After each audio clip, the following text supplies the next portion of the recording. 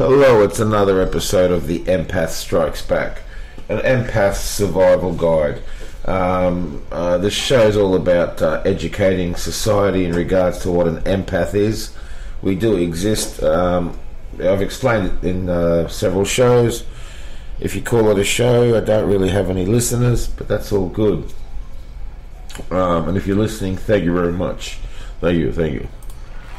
Oh, you're, you're beautiful. Oh, stop it. Please, please. Thank you, thank. We have a, a, a very um, energetic studio audience. Uh, it's an American staffy and a couple of crows out on the balcony. So thank you. Thanks again for being here. Oh shit! I pressed the wrong button. I mean, the crowd laughed for no reason. But anyway, um, uh, what really struck me as an empath, and it's really liberating to come out and say I'm an empath. I think we need to do this. Visualize and express your empathy to the world because empaths are so humble.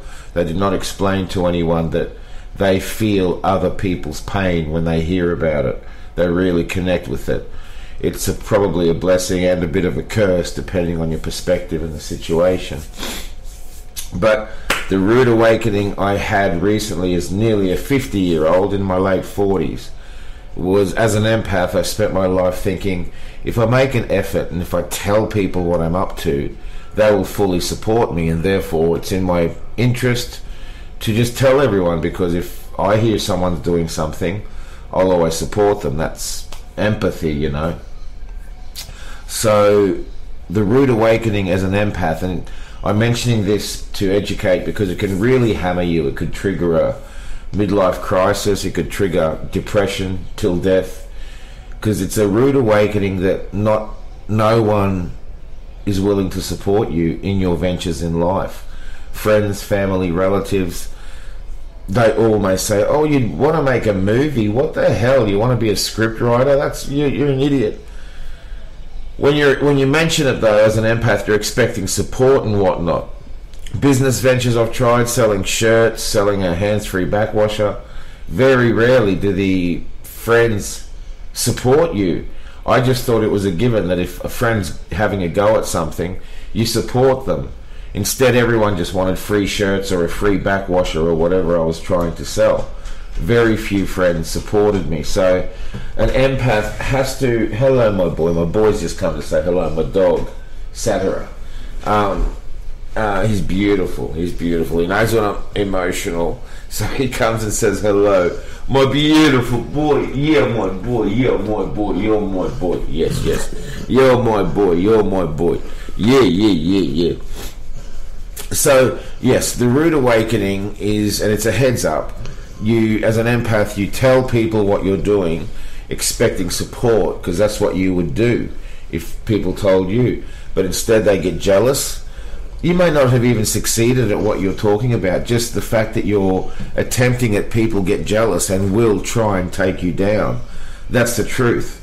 That's the rude awakening, where where you spend your life thinking people want to support, they actually want to take you down. This is insight into daily life. Um, daily life can be um, dictated through daily gestures from the common person towards each other. These matter because this is how we can rise above the norm and do something extraordinary um, if that's what you want to do. But you have to keep your mouth shut and just do what you're going to do because if you don't and you're looking for support, quite often you'll find the contrary. And that's also how you can find out who your friends and enemies are. Your so called friends, they probably won't support you in your ventures. That's a fact. And I hope I'm wrong to each person that I'm talking to here. But they won't support you. Um, so they're your enemies. Put them in your mind as your enemies. Keep talking to them, keep this, keep that, if you want. If they don't get too toxic. But um, they're your enemies. Your friends will be very few, and they're the ones that, no matter how crazy your idea, they'll put a positive light on it somehow and support you in some direction uh, positively uh, in one way or another.